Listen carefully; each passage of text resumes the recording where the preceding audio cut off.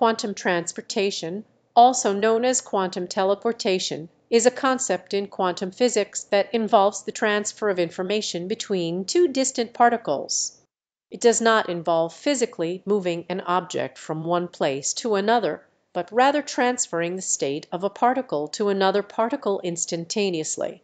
The process of quantum teleportation relies on a phenomenon called entanglement.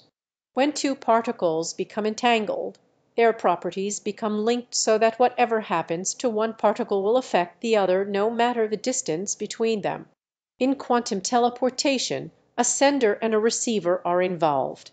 The sender wants to teleport the state of a particle to the receiver.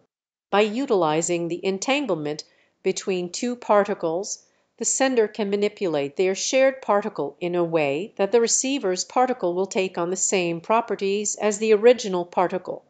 It's important to note that quantum teleportation doesn't involve physical movement, but rather the transfer of information in a teleportation like manner.